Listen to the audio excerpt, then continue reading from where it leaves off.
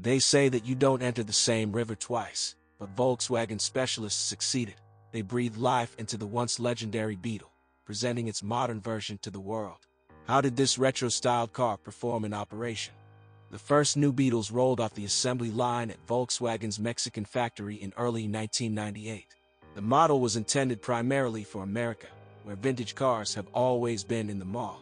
However, there was no rush demand for these machines, as well as in Europe, which took the Beetle with the cooler five years after the overseas debut. The new Beetle may be mistaken for a three-door hatchback, but the creator calls it a compact sedan because the car has a separate trunk. After four years of production, the range of modifications was replenished with the convertible. The car is built on the basis of the Golf 4 and borrowed from him all the main components, the layout with the engine located in front and the chassis. The range of engines is almost identical to the Golf 1, gasoline and diesel engines ranging from 1.4 liters to 2.3 liters, 75 to 170 horsepower. The most popular is a 2.0-liter petrol, 116 horsepower. Gearboxes, 5-speed manual, as well as 4 and 6-band automatics. The designers tried to give the car the maximum resemblance to its legendary ancestor, and they did it well. The designers focused on the characteristic elements of the hull, inflated wings and a domed roof, making them even more prominent. The interior is quite spacious for a two-door subcompact, especially the front seats. Yes, and on the back sofa, two not the largest passengers will be comfortable. But the trunk is small, and access to it is tantamount to entering a cellar with a narrow opening. If you, having traveled by golf, move to the new Beetle, you will be disappointed with the soundproofing of the latter. Due to the short hood, the engine is partially shifted into the cabin. Accordingly, the crew is forced to constantly enjoy his voice, especially loud at high speeds. In our market, about half of the cars of this brand were previously sold by new dealers, and a slightly larger part are copies brought from behind the hillock. Among the used New Beetle, the most common 2-liter modifications are both manual and automatic. The set is generous. New Beetle was originally equipped with front and side airbags, air conditioning, alloy wheels, power windows, and heated mirrors. If that's not enough for you, you can look for an option with a leather interior, power front seats, xenon headlights, an automatic transmission, rain and light sensors. Agree, not bad for a vintage car. Although the versions of the Volkswagen New Beetle for Europe and America are assembled at the same plant in Mexico, they differ significantly, and not all of their parts are interchangeable. As a rule, options for the local market have a more capricious power supply and injection system.